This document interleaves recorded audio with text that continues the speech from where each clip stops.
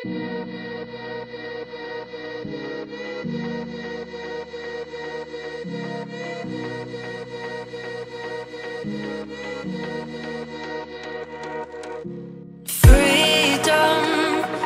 never had the chance to run. Leave behind the said and done Figure out what's to come.